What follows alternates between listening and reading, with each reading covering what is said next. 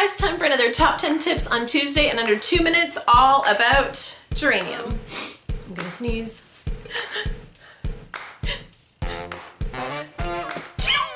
Oh, bless me. Of course on camera. Oh.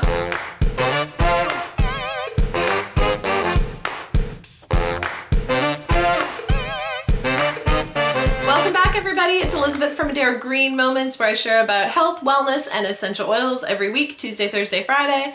And if you haven't subscribed yet, head over to the vlog channel. We talk about cruises and vacations and all things adventures over on Medero Vlog Moments. Uh, yeah, it's fun stuff over there. Okay, we're gonna jump right into geranium Number one, it's a single. There's nothing else in this but geranium essential oil. Number two, you can purchase it as a 15 milliliter. I must have gotten this as a promo because it's a five milliliter, but I have it written down here, it's a 15 milliliters the way you can purchase it.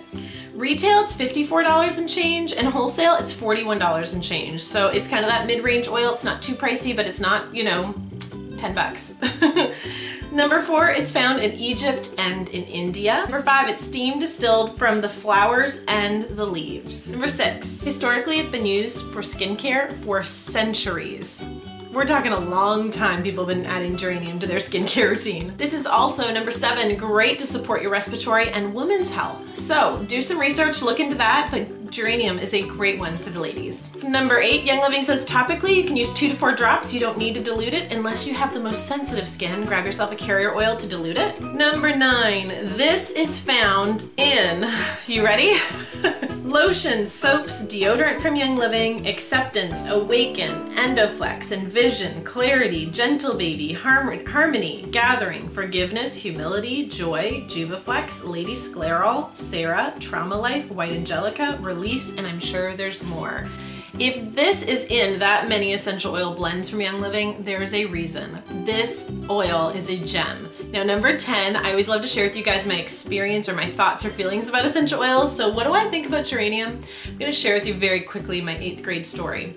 When I was in eighth grade, I was in a small Christian school, small private school, and there was a geranium plant on the windowsill and the rows were very small of our desks and somebody inevitably would bump the geranium and would give off the scent that I just could not handle.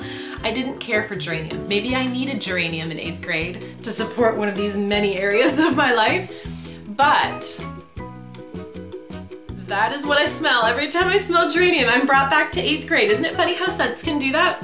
So I'm always brought back to somebody bumped the geranium and I can smell it and I don't care for it. So do I use geranium neat? Do I add it to my life single like this? No, I don't. I only do it if it's added with other essential oils because of my eighth grade experience of geranium.